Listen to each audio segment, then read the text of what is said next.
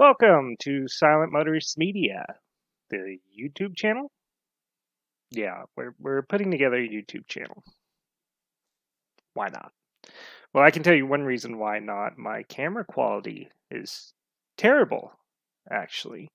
Um, I'm just kind of looking at this thing and kind of aghast at that uh, computer cameras are still functioning on this level in 2020. But yeah, um, you know, maybe if uh, this, maybe if we decide to keep up doing a YouTube segment, then we'll get a better camera and audio equipment. Why not? Um, until now, uh, at the, at this moment though, it's just uh, totally an experiment. There is nothing final or certain about this. Um, this is just a one-off thing I decided to try. But for today, we will go ahead and get into our uh, review, which is going to be of B.R. Yeager's Negative Space.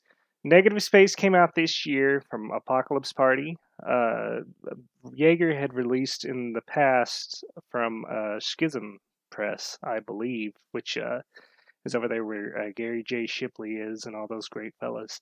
Um, but yeah, this uh, Negative Space is uh, from Apocalypse Party, and it is a like a cyber coming of age occult novel, and it's just blew me out of the water. I uh, I was totally impressed by this thing.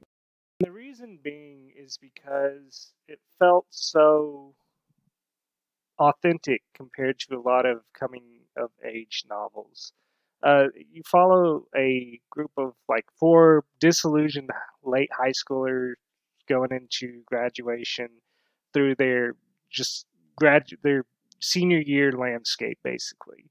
Follow these characters who are who are connected in some way either they're dating or they know each other they all get to know each other by the end of the book.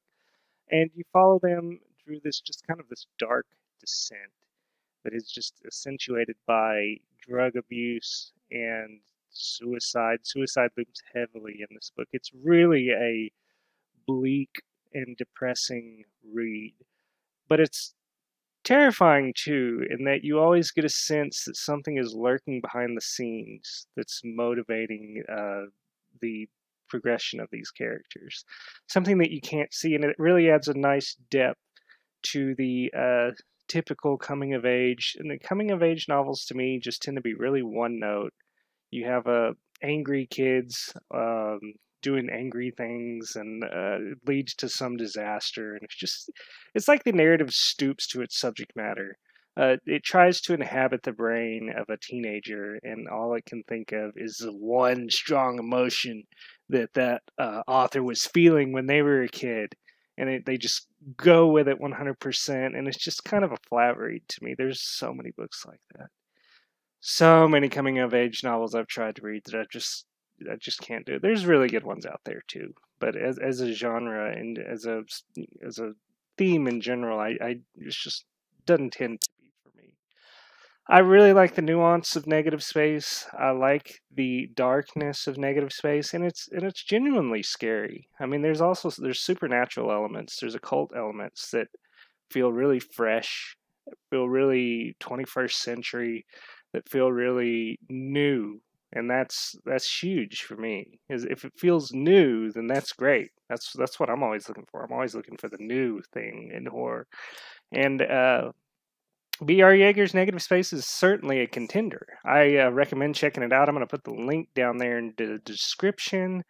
And uh, yeah, I think uh, that wraps up this short review, the short video review, this video visual experiment with uh, Silent Motorist Media.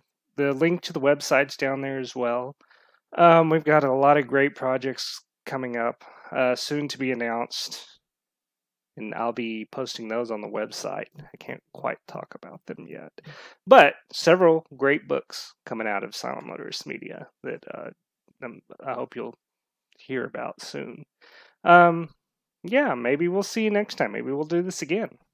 For sure, check out B.R. Yeager's Negative Space.